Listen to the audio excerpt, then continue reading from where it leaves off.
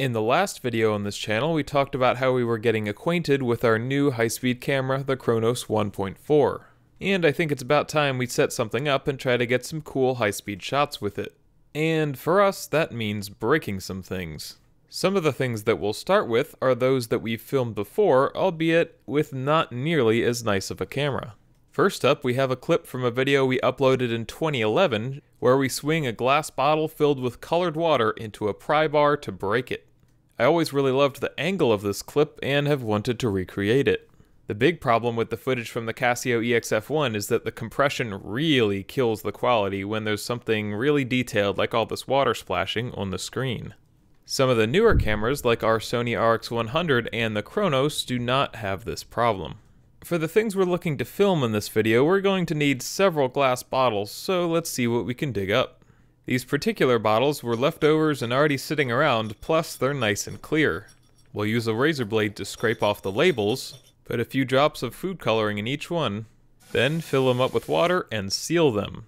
Unfortunately, we didn't have bottle caps, but a piece of duct tape and a zip tie should do the trick.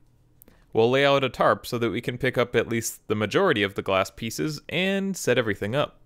Unfortunately, when trying to frame this, we immediately encountered a problem with our setup on the camera and weren't able to get it in position to film the downward shot that I had liked.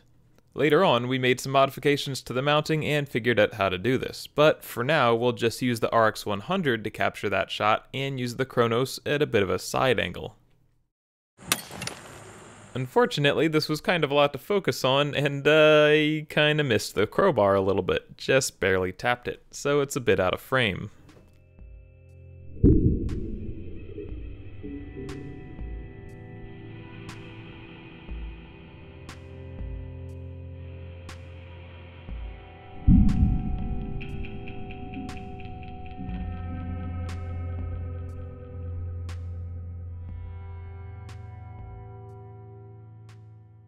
But, uh, well, we've got more bottles, so I guess I'll just grab another one and go for it again.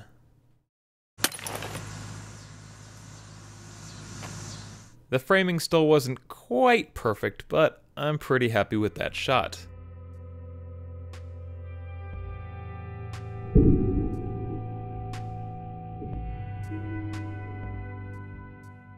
So how about the Chronos footage?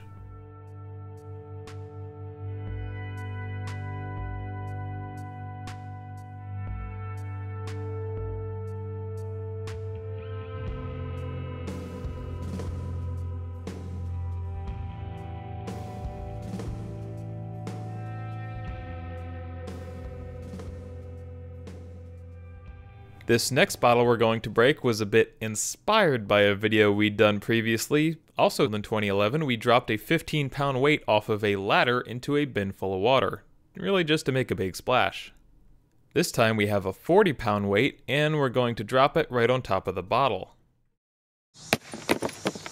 Unfortunately, we missed the shot for the Sony camera, but we do have the footage from the Chronos.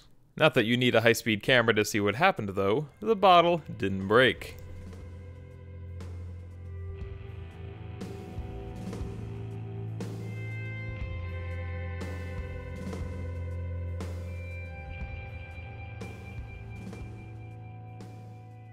So we went ahead and reset, and I lifted the weight up even higher and gave it another try. Again, that was not the expected result. The dumbbell dropped straight onto the bottle and just punched it through that half inch piece of flake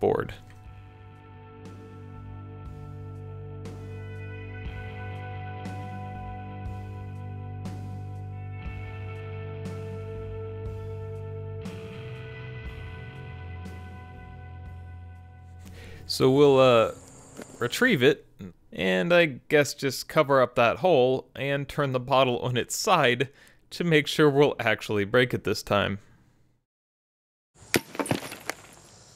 And that definitely did it. Unfortunately, we still don't have footage from the Sony, but the Chronos did a fantastic job at capturing this moment.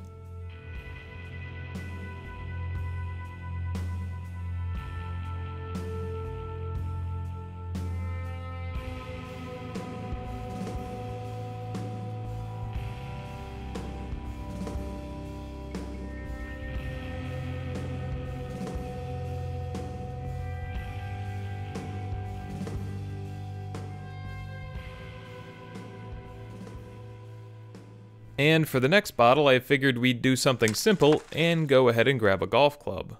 We had done this one more recently and uploaded this video in 2016. So we'll set up the bottle pretty much just like that and see what we can do. Hopefully I can at least hit it. It's a little bit of a mad dash to do this and then trigger the cameras to make sure the footage is saved.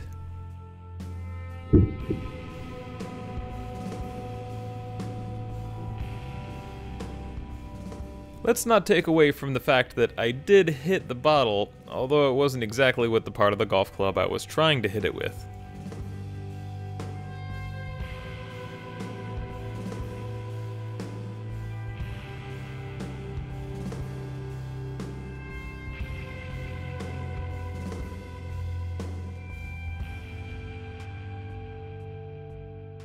And next up, I figured we'd break some glass with the pellet rifle. We've done this in the past in quite a few videos, but this is one we filmed, albeit with a more powerful rifle, back in 2016. This time we'll be using the break action 25 caliber Walther Falcon Hunter. And these are the pellets we'll be using. Compared to your average 177 pellet gun, these are a decent size. Just for kicks, we got out the chronograph and fired a few rounds through it, and we'll use that to calculate the muzzle energy of this rifle. Averaging out that string of three shots, the gun puts out very close to 26 foot-pounds of energy. So let's impart that energy onto one of these glass bottles.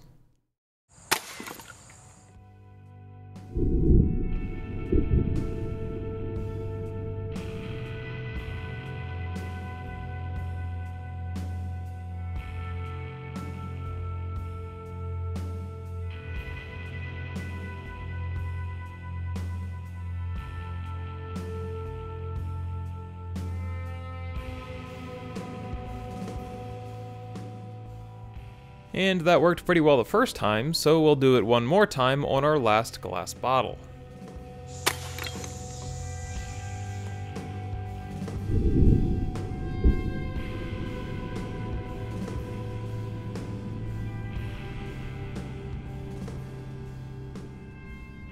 This time the clouds were interfering and the light outside wasn't exactly cooperating so it's a bit blurrier and noisier than it should have been, but we still managed to get this shot out of it.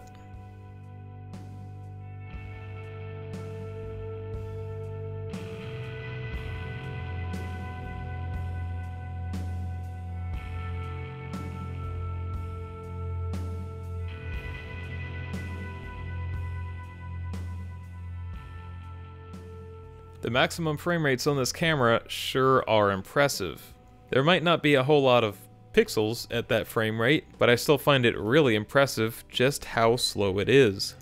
I also think this is a really good example of how compositing the footage from the two cameras together can enhance the viewing experience. Instead of just a blurry little rectangle, you get a larger blurry rectangle within which you can view the smaller blurry rectangle.